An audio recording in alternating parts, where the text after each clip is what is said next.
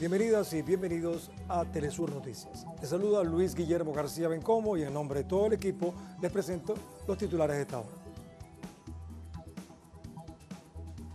El asedio israelí deja al menos 254 personas asesinadas y más de 450 heridas durante las últimas 24 horas en Palestina. La cifra de víctimas mortales supera los 2.800 civiles. China defendió la necesidad de un alto al fuego inmediato en el asedio que mantiene Israel contra los civiles en la franja de Gaza.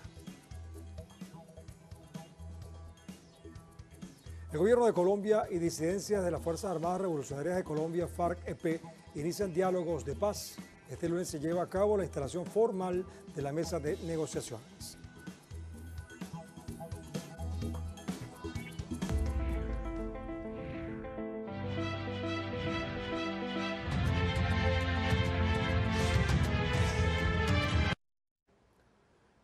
Este tema, los bombardeos israelíes dejan al menos 254 personas asesinadas en Palestina en las últimas 24 horas y la cifra de víctimas mortales supera los 2.800 civiles tanto en la franja de Gaza como en Cisjordania.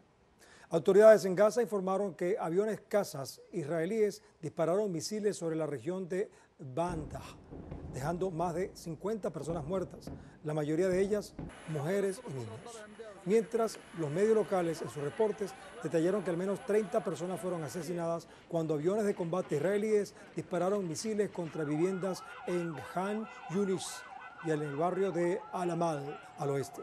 El Ministerio de Salud palestino reportó que con estos nuevos ataques, la cifra de muertos en la franja de Gaza y Cisjordania sobrepasan los 2.800 las víctimas y el número de heridos ascendió a más de 12.000.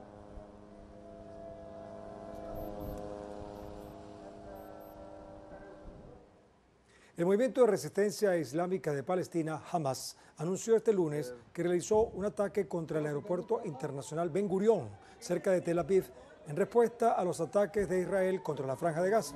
Según el informe de Hamas, el ataque además se ejecutó media hora antes de la llegada del secretario de Estado de Estados Unidos, Anthony Blinken, a los territorios ocupados por Israel. A pesar de los anuncios de Hamas, el gobierno de Israel no confirmó este ataque, sin embargo, se supo que las aerolíneas comenzaron a cancelar los vuelos horas antes del anuncio hecho por Hamas.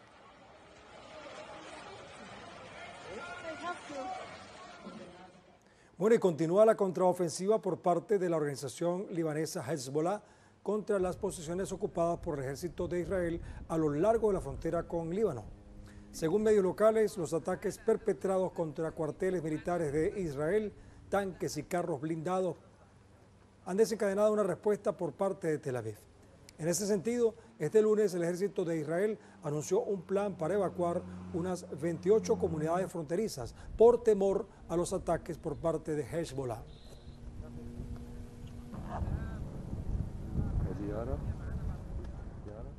Por su parte, el Parlamento de Irak solicitó la activación del Tratado de Defensa Árabe contra el régimen israelí en respuesta al asedio de Tel Aviv contra Gaza.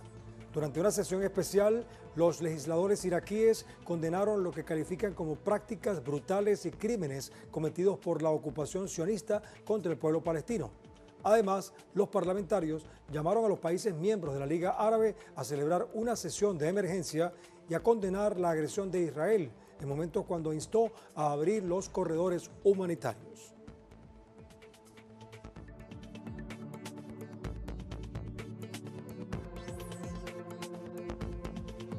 En ese contexto, Egipto reclama a Israel por manipular el paso de Rafah con el que busca evitar el ingreso de la ayuda humanitaria a la franja de Gaza.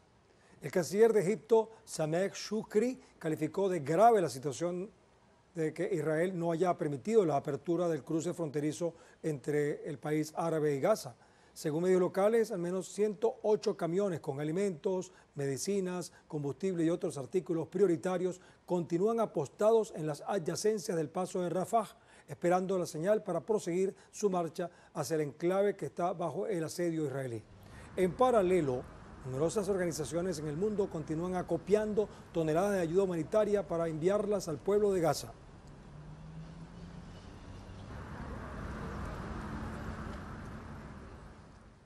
Mientras tanto, la aviación israelí bombardeó el cruce de Rafah que conecta, como hemos dicho, la franja de Gaza con Egipto, mientras ciudadanos gazatíes se congregaban ante la presunta apertura del paso fronterizo.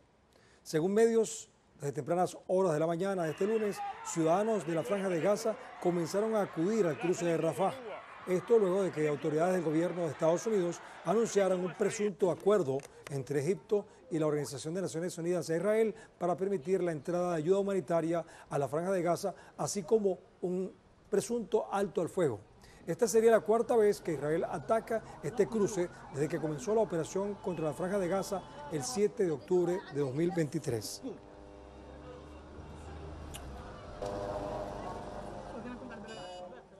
Ahora revisemos algunos datos referentes al paso de Rafah, que comunica a la franja de Gaza con la península egipcia del Sinaí. Este paso fronterizo de Rafah es de gran importancia para los más de 2 millones de palestinos en Gaza. Este cruce representa su principal punto de salida potencial y es el único enlace que queda en el territorio con el mundo exterior. En virtud de un acuerdo de 2007 con Israel, Egipto controla el paso fronterizo, pero cualquier suministro que entre en Gaza a través de Rafah requiere la aprobación israelí. En el contexto del conflicto iniciado el 7 de octubre de 2023, Israel ha obligado a la Cisjordania, que está ocupada, por cierto, en Gaza, a desplazarse hacia el sur, alejándolos del paso de Rafah y cualquier ayuda humanitaria que pueda llegar a través de este cruce.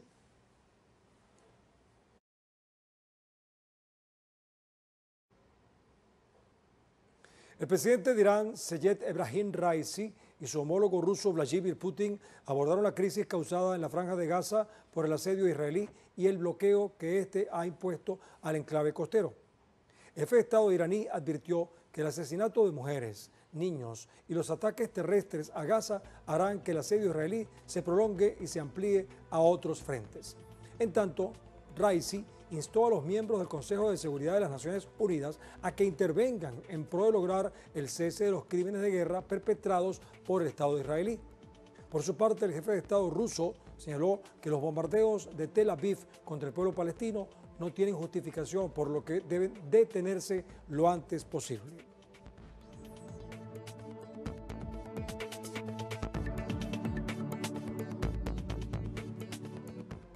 Mientras tanto, autoridades de Israel evacuaron el Parlamento este lunes tras amenazas de misiles de Hamas. Las alertas aéreas se activaron en Jerusalén y Tel Aviv después de que el movimiento palestino Hamas disparara cohetes de largo alcance contra las ciudades más grandes de Israel.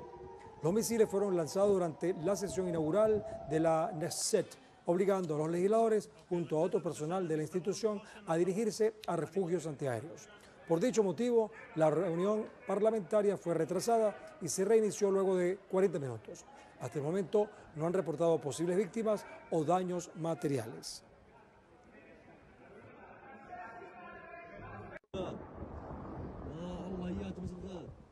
El gobierno de China defendió la necesidad de un alto al fuego inmediato en el asedio que mantiene Israel contra los civiles en la franja de Gaza. En el contexto de una reunión con su par ruso Sergei Lavrov, el ministro de Relaciones Exteriores de China, Wang Yi, se pronunció con respecto a la situación en el contexto de los enfrentamientos entre Israel y la resistencia palestina. Wang Yi defendió la necesidad de un alto al fuego inmediato y pidió la intervención del Consejo de Seguridad de las Naciones Unidas. El funcionario chino reiteró que su país se opone y condena todas las acciones que dañan a los civiles porque violan la conciencia humana y las normas básicas de las relaciones internacionales.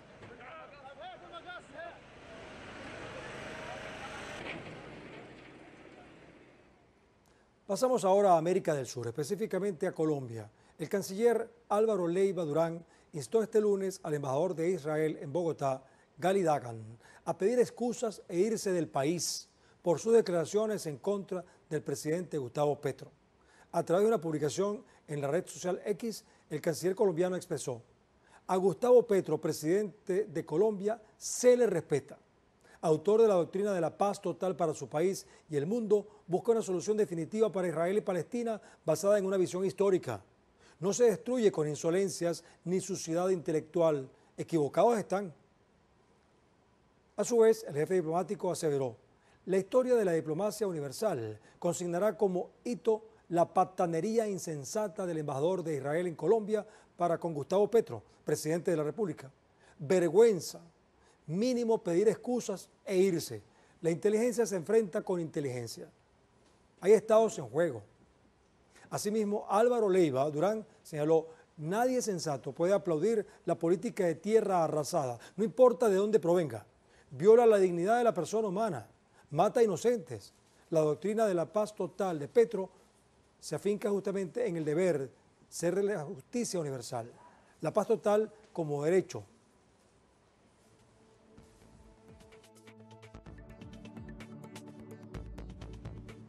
Por cierto, la comunidad e instituciones palestinas en Colombia agradecieron las recientes declaraciones del presidente Gustavo Petro ante la situación que vive el pueblo de Gaza. Por medio de una carta, la comunidad expresó al mandatario colombiano Queremos manifestarle nuestro beneplácito por sus recientes declaraciones ante la situación que vive Palestina frente al genocidio, los crímenes de guerra y la limpieza étnica que históricamente ha desatado el Estado sionista de Israel contra la población civil palestina.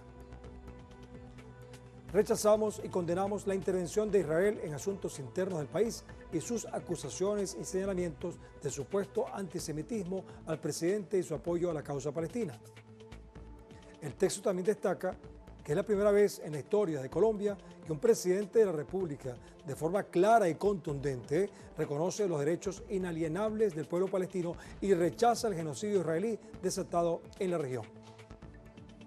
A su vez, el documento señala Señor presidente, agradecemos su intención de convocar una conferencia de paz auspiciada por las Naciones Unidas para frenar la violencia en el Medio Oriente y buscar el entendimiento mutuo y la paz justa y duradera en la región.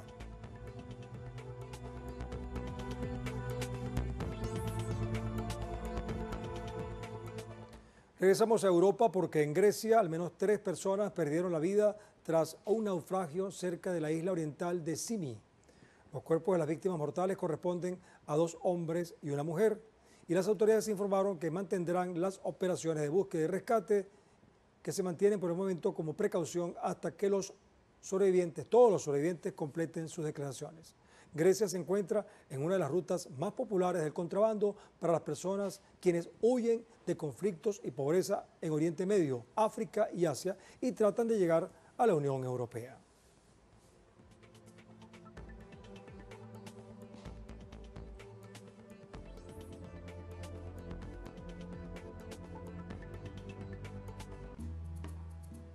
Vamos a hacer una muy breve pausa y regresaremos con más de Telesur Noticias.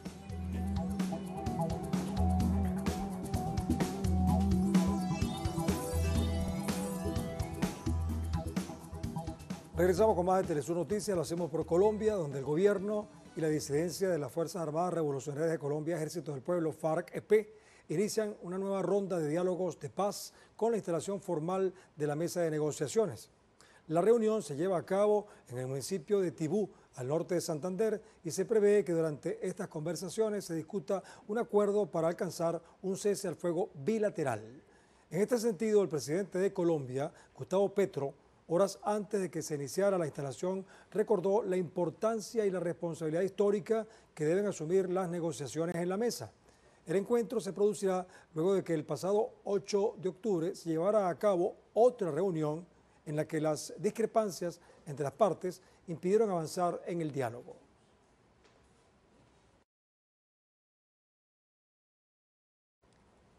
Vamos ahora a Argentina, donde se llevó a cabo la primera conferencia regional sobre inteligencia artificial y soberanía digital. Un evento donde participaron expertos quienes expusieron la geopolítica de los algoritmos en América Latina, su origen y sobre quienes controlan la propagación de datos de contenidos que impactan directamente sobre las sociedades y las decisiones de los ciudadanos. Pero veamos eso en detalles en este informe.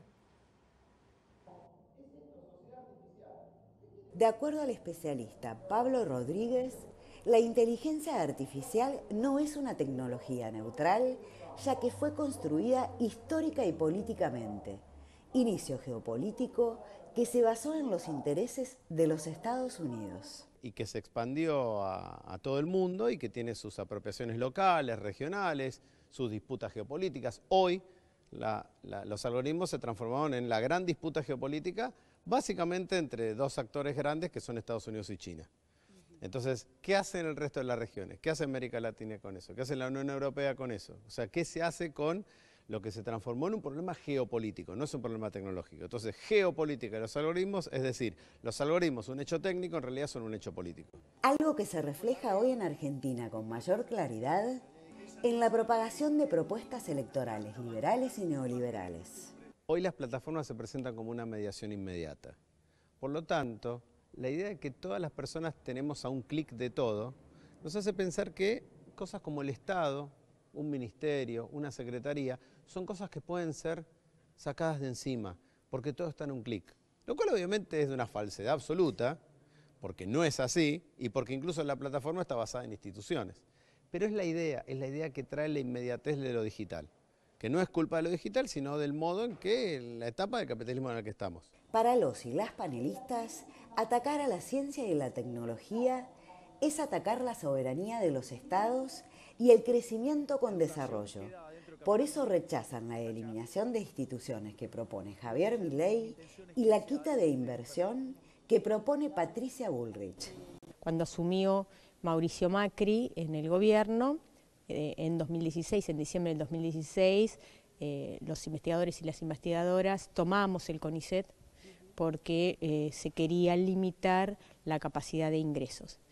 Em, si, si, asume un gobierno de derecha, es bastante probable que esto empeore incluso, con lo cual me parece que el avance científico y la investigación en la Argentina puede correr serios peligros, más aún en, el, campo de las ciencias sociales, que es eh, el que a mí me toca investigar. Otra problemática para las cientistas es la propagación de los mensajes de odio y negacionismo de los candidatos presidenciales de derecha y las fake news que circulan en la campaña.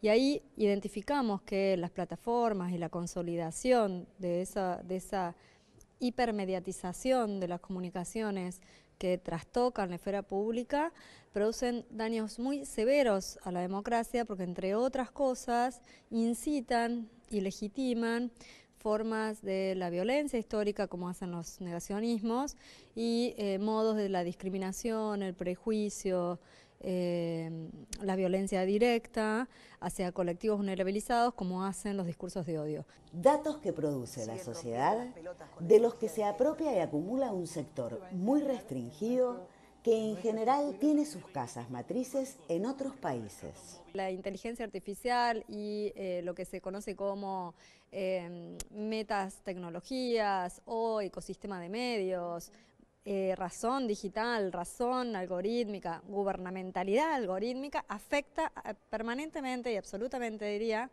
en nuestras vidas. Nos afecta como ciudadanos, nos afecta como consumidores, nos afecta como usuarios, nos afecta en nuestras Em, inclusive en nuestras formas de subjetivación. Eh, eso sobre lo cual pocas veces reflexionamos, que es qué hacen las redes sociales con nuestras vidas, qué hace la inteligencia artificial en relación a eh, las formas de producir riqueza. Por eso los especialistas plantean políticas públicas que permitan la soberanía digital efectiva a nivel local y regional. Carolina Silvestre, Telesur, Buenos Aires. Vamos ahora a Venezuela, donde movimientos sociales salieron a las calles en el contexto de protestas por el secuestro de Estados Unidos al diplomático venezolano Alex Saab y piden su libertad. Vamos a ver eso. Tal como están, un saludo cordial desde la Plaza Bolívar de Caracas se desarrolló una tribuna antiimperialista para exigir la liberación del diplomático venezolano Alex Saab, que precisamente hoy se conmemoran dos años desde que fue extraditado ilegalmente desde Cabo Verde hacia Estados Unidos. Hace dos años se elevaba la denuncia de este acto ilegal, alejado de todos los procedimientos internacionales, del derecho internacional vulnerando la calidad de inmunidad eh, diplomática de Alex Saab. Y hoy se cumple dos años, más de tres años eh, se cumple desde la detención en Cabo Verde de este personaje, este funcionario venezolano que cumplía labores de eh, enviado especial para establecer negocios que pudieran traer a Venezuela comida, medicamentos, gasolina, en momentos en que el bloqueo estadounidense arreciaba contra el país. Lo que denuncia su defensa es que todo el procedimiento contra Saab ha estado viciado desde su origen. No hay argumentos para su detención en Cabo Verde, no hay argumentos y por el contrario se violan todos los procedimientos eh, internacionales para su extracción, eh, extradición ilegal hacia Estados Unidos y tampoco, dice su defensa, hay argumentos para mantenerlo detenido durante todo este tiempo, además bajo un régimen de torturas, como se ha denunciado, también de incomunicación y aislamiento. Dicen también que eh, esto genera un paradigma internacional de eh, violación, de vulnerabilidad del derecho internacional, de todos los procedimientos de la Convención de Viena de Protección a Diplomáticos, en fin, una serie de irregularidades que eh, simbolizan el caso de Alex Saab. Aquí se reunió eh, organizaciones sociales venezolanas que reclaman por su libertad. También estuvieron presentes eh, diplomáticos acreditados en Venezuela que exigen la libertad de Saab. Su esposa tuvo la voz principal denunciando todo lo que ha ocurrido con su esposo, las razones de su detención y toda la ilegalidad que hay detrás de este proceso. Entonces se cumplen dos años desde que Saab fue extraditado ilegalmente desde Cabo Verde hacia Estados Unidos y ahí se mantiene detenido sin una condena, sin un procedimiento apegado a derecho. Gracias, Leonel, desde Caracas, Venezuela. Vamos ahora a Centroamérica. En El Salvador, un estudio del Instituto de Derechos Humanos de la Universidad Centroamericana José Simeón Cañas señala que el acceso a la justicia en el país se ha visto violentado tras 20 meses del régimen de excepción en el país. Por eso vamos a San Salvador, la capital. Nuestro corresponsal Hugo Presa precisa datos al respecto. El Observatorio Universitario del Instituto de Derechos Humanos de la UCA dio a conocer hoy los resultados de un estudio elaborado en las últimas semanas sobre el acceso a la justicia en el marco del régimen de excepción en El Salvador. Dice que el objetivo fundamental de este estudio ha sido examinar las condiciones del derecho de acceso a la justicia de la población salvadoreña en el marco de la aplicación del régimen de excepción, que prácticamente lleva 20 meses en el país. Los resultados son preocupantes, según los investigadores, porque deja evidencia de que no se está aplicando una verdadera justicia en el país. Una detención justamente eh, arbitraria, que no se sabe tampoco las razones por las cuales la persona ha sido detenida. Ya sabemos que se le atribuye el delito genérico, por decirlo de alguna manera, de agrupaciones ilícitas, pero sin individualizar cuál es la responsabilidad que esta persona tiene, por ejemplo, un homicidio, una extorsión, etcétera. Luego, eh, el hecho que la persona no tiene contacto con su abogado o abogada defensor. Esto en el caso quizás privilegiado de contar con algún defensor privado pero todas las personas que no tienen esa capacidad y que están con un defensor público, los defensores públicos están sobrepasados y no pueden realizar realmente una defensa técnica y eso también es violatorio del derecho de acceso a la justicia. No hay tampoco forma de que las, eh, la defensa que se ejerza, por mejor que se haga, por presentar la documentación debida, demostrar que la persona tiene arraigos y que no es delincuente o pandillera, no hay forma de que eso realmente sea tomado en cuenta porque muchas veces es desestimado. Eh, no importa tampoco que la persona tenga una condición de salud preexistente y se le deja detenida cuando la detención provisional debería de ser la última vía y no la principal como está haciendo en este caso. Los jueces sin rostro es algo que también se vulnera. Eh, vulnera el, derecho de acceso a la justicia porque es importante que nosotros sepamos quién está detrás juzgando estos casos por los elementos que había mencionado de independencia e imparcialidad que son fundamentales para un debido proceso. Los salvadoreños están bajo el régimen de excepción desde el 27 de marzo del año 2022. Prácticamente son 20 meses durante los cuales unos 72 eh, mil salvadoreños sospechosos de pertenecer a las pandillas han sido detenidos y unos 7 mil han sido liberados por no encontrarles relación con las estructuras criminales. Roberto Hugo Presa, Telesur, El Salvador. Gracias, Roberto. Muy bien, fíjense que organizaciones que integran la Alianza Pueblo Unido por la Vida se mantienen en protestas para rechazar el contrato suscrito por el gobierno y la minera Panamá en ese país. Los miembros de las diversas organizaciones se reúnen en las afueras de la Contraloría General de la República y la medida de presión se da luego de que el Ejecutivo revisara el texto original devuelto por la Asamblea Nacional tras consultas ciudadanas y con modificaciones solo en cuatro puntos. Las organizaciones llaman la atención sobre las escenas del contrato que permite el robo indefinido de los recursos naturales y severos daños al medio ambiente y la salud humana. De prosperar el texto y pasar a un segundo debate por los diputados, los colectivos anunciaron que realizarán un cierre total de varias localidades en el país.